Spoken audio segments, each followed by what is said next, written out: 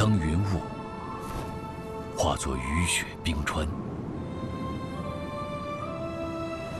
溪流汇成江河湖海，岩层堆叠，大地仍在生长。这里有地球上最壮观的山，星空下最丰饶的水，气候因它而改变。生命被他所重塑，让我们从新出发，跟随万千生命，深入高山，溯源江河，穿越四季，遇见最极致的中国。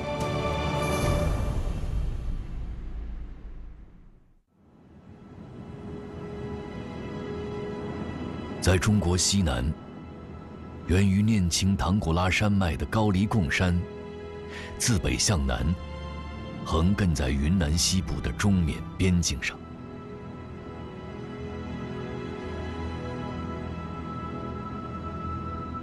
山脉中部的山巅上，有个黑色片麻岩形成的石洞，这就是六十米高、三十五米宽的。石月亮，透过石月亮，还能直接俯瞰中国西南地区的大河怒江。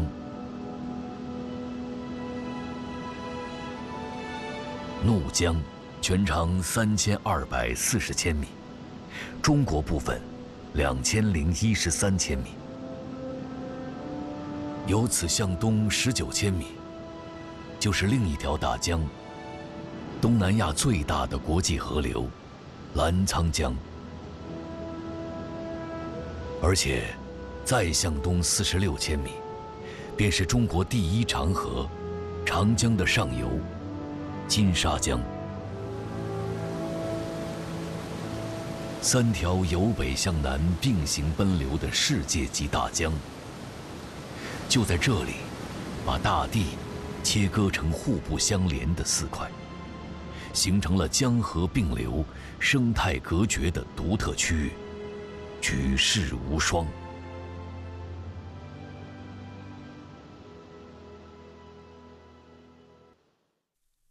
一九八五年，人们首次从卫星地图上注意到，有三条世界级的大江，在青藏高原东南部并行奔流，而不交汇。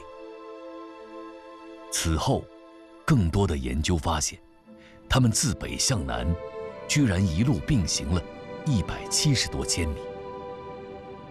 三江并流，峡谷深切，山水隔绝，堪称世界地理的旷世奇观。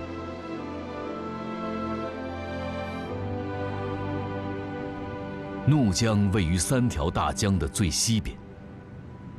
它的西侧，就是山高坡陡的高黎贡山，垂直高差超过四千米。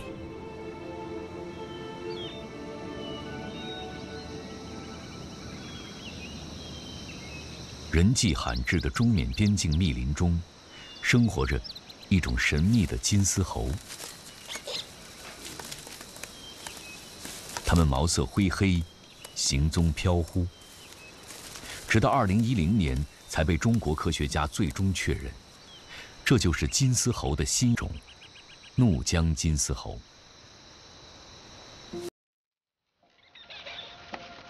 此前，全球仅发现四种金丝猴，它就是最新发现的第五种，种群数量估计仅有四百余只。这片密林。就是它们唯一的栖息地。茂密的常绿阔叶林看似物产丰富，但要填饱肚子，却需要主动出击，仔细甄别。据说，它们能在这片丛林中甄选出九十多种可食用的植物和地衣，而且。它们可能是世界上最有口福的金丝猴，甚至花朵，都会出现在他们的食谱中。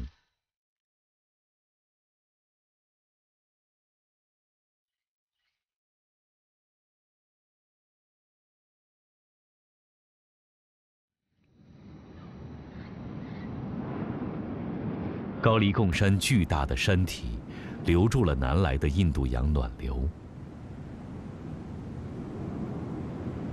积土成山，风雨兴焉。早在两千多年前，中国人就已参透了地形雨的奥秘。在这里，陡峭的山势不仅加剧了暖湿气流的抬升，让天气瞬息万变。也给树冠上的金丝猴带来更多的挑战。实际上，在三江并流区，它们并不是唯一的金丝猴。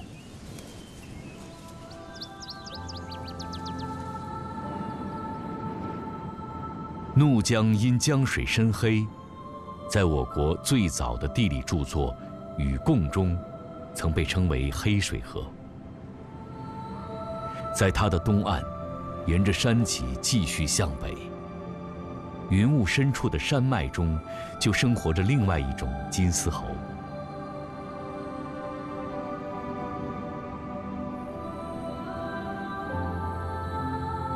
这是三江并流区的最高点——梅里雪山，海拔六千七百四十米。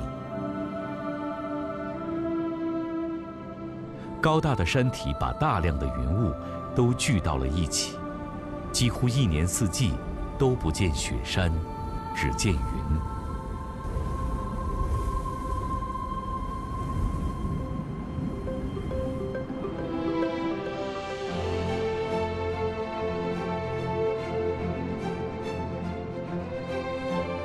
一山有四季，十里不同天。古老的冰川。峻拔的雪山，变幻的云海，共同成就了这座极致的高山。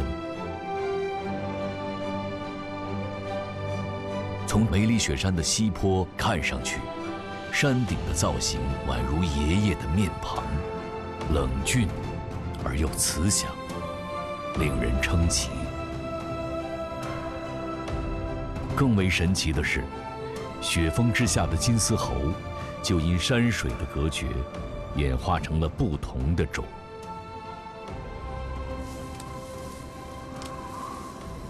它们是世界上栖息地海拔最高的金丝猴——滇金丝猴。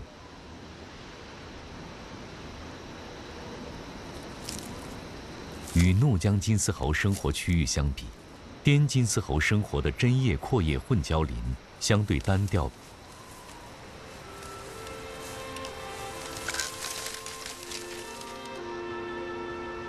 入秋以后，为了获取更多的食物，滇金丝猴要从海拔四千多米的针叶林向下迁徙到海拔两千多米的针叶阔叶混交林。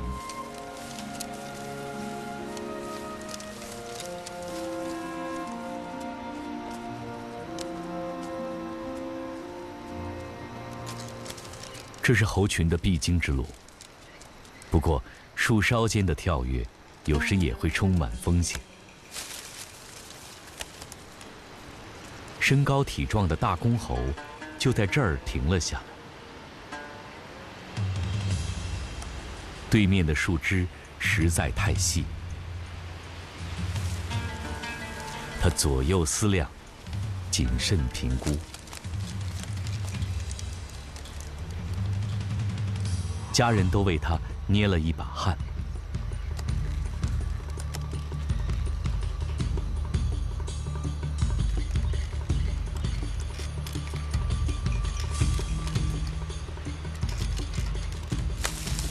终于大着胆子跳出去。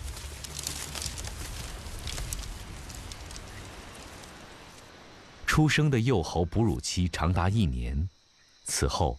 他们还得在家人的照看下度过两年见习生活。这是小猴第一次来到冬天的觅食地，好奇心驱使他四处查看。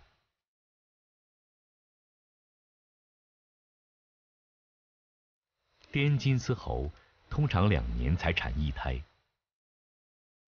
经验丰富的妈妈常常会放手让孩子去探索。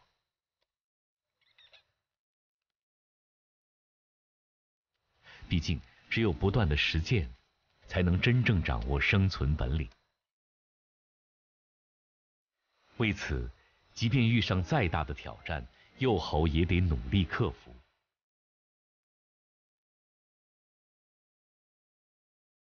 事实上，金丝猴的共同祖先就诞生在青藏高原。除了三江并流区的怒江金丝猴和滇金丝猴，在中国还生活着川金丝猴和黔金丝猴，一共四种。一百六十万年前，正是青藏高原的不断抬升和地理隔绝，最终形成了不同的种。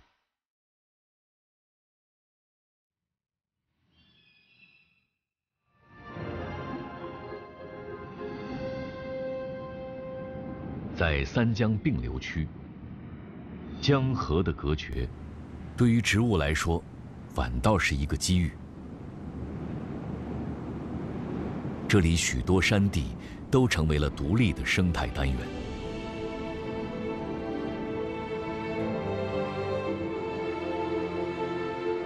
这里是杜鹃花属的起源中心和最大的地理分布中心。巨大的海拔落差和极端多样的生境，让它们分化出了二百多种不同的杜鹃花。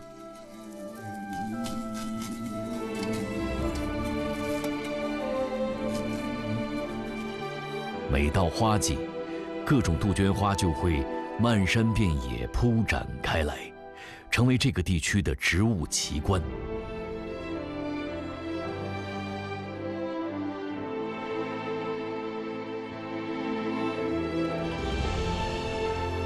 在白马雪山的西坡，第四纪冰川雕刻出了两个对称的 U 型谷，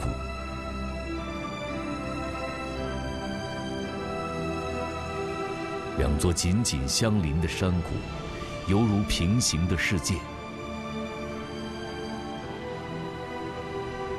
每逢初夏，无数的高山花卉便争相绽放。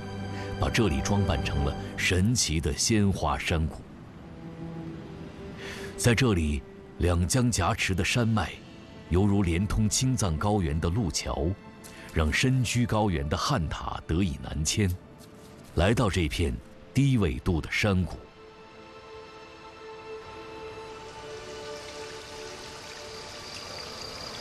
在 U 型谷下端，为应对高海拔山区的寒风。避免强风对枝干的折损，免于强烈。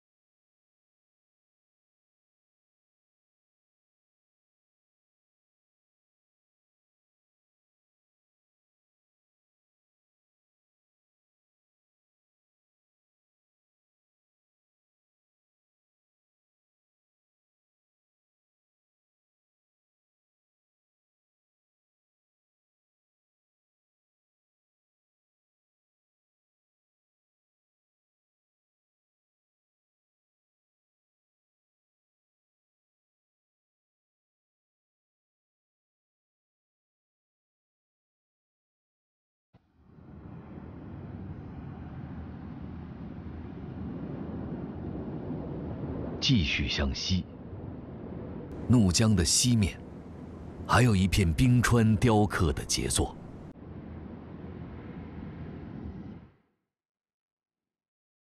海拔三千四百米的山顶，两个同等高度的冰碛湖，为下面的高原沼泽供给着水源。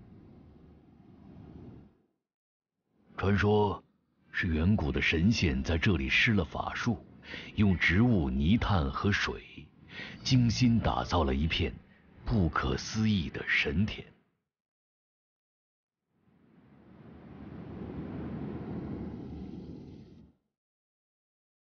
这里是三江并流区域降雨量最大的地区。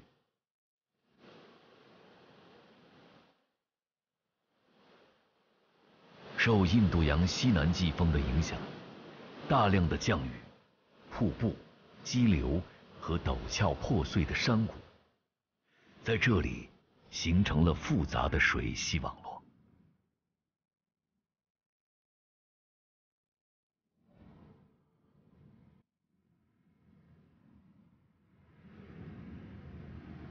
高黎贡山的北部密林中，还生活着一种庞然大物。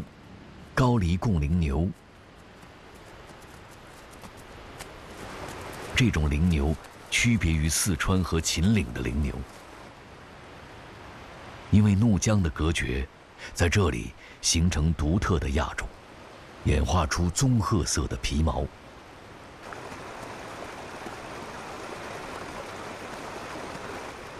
虽然它们被叫做羚牛，但其实并不是牛，在分类上。属于寒带羚羊，在高耸的山崖、深切的沟谷中，山水隔绝的复杂环境，给高黎贡羚牛带来巨。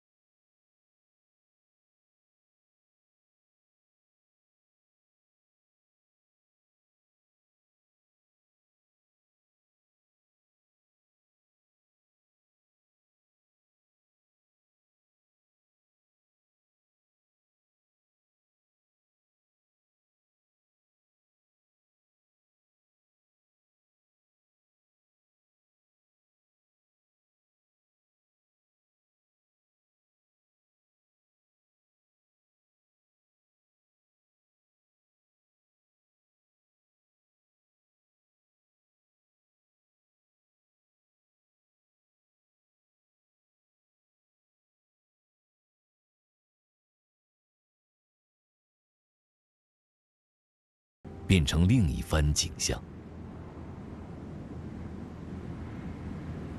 植被稀少，恍如沙漠。这是一个异常炎热、沙石裸露的世界。在脆弱的生存环境下，生活着奇异的物种。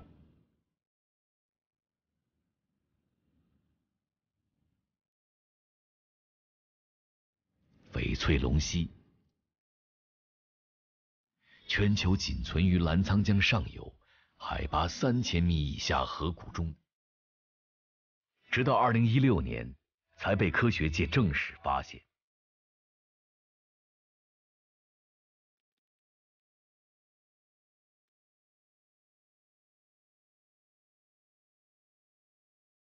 他们浑身翠绿忍饥耐渴。数量。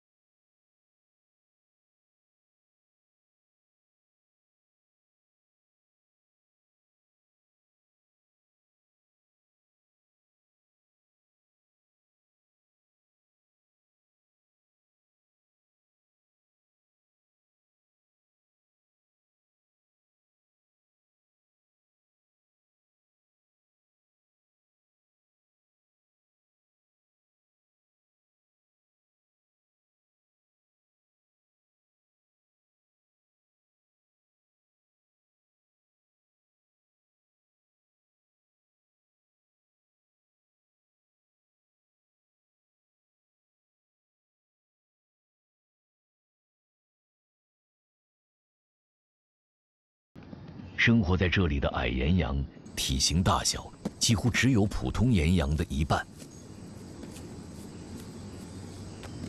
即使到了六月，山崖上却依旧食物稀缺。为了填饱肚子，一对矮岩羊母女正沿着岩壁艰难觅食。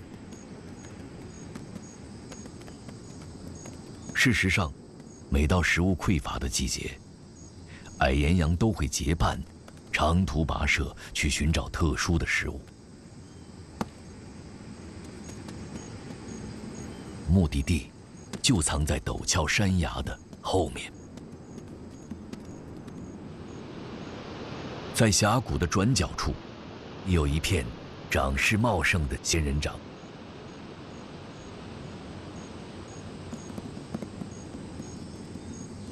矮岩羊母女终于到达了目的地。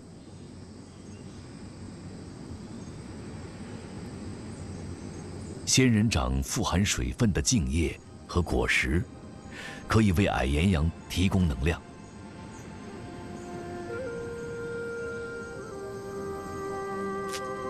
也许，在食物匮乏的干热河谷中，正是靠着无比的坚韧。和对仙人掌的大胆利用，才使得矮岩羊得以幸存至今。顺着金沙江一路向南，江水由湍急逐渐变为平缓，在石鼓镇突然改变方向，掉头向北，进入玉龙雪山和哈巴雪山。两座大山之间的夹缝，在这里，三江并流东南方向的终点，山水的互动达到极致。峡谷垂直高差三千九百米，十七千米内的落差高达二百一十六米。